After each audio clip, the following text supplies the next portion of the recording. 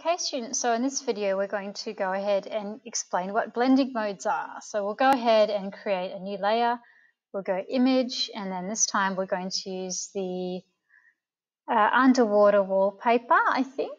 Yes, and we'll click on open and that will be the topmost layer there. And then we'll go and use a blending mode to make it feel like uh, it's underwater. Okay, so we'll click on these little dots and the blending mode here, you can choose from multiply to screen, to overlay, to darken, to lighten, to color dodge, color burn, hard light, soft light, difference, exclusion, hue, saturation, color, and luminosity. So we're going to go ahead and use multiply and the transparency is how strong that effect is applied.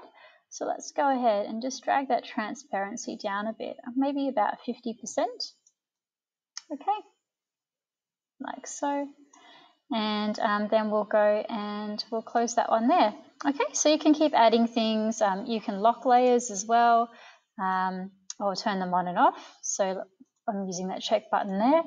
Um, what I would probably do right now is probably go ahead and just go ahead and use the cutout again on the Colosseum and go and cut that out just some more so that we can clean that image up. So I would do that. Um, make sure I'm in the remove section again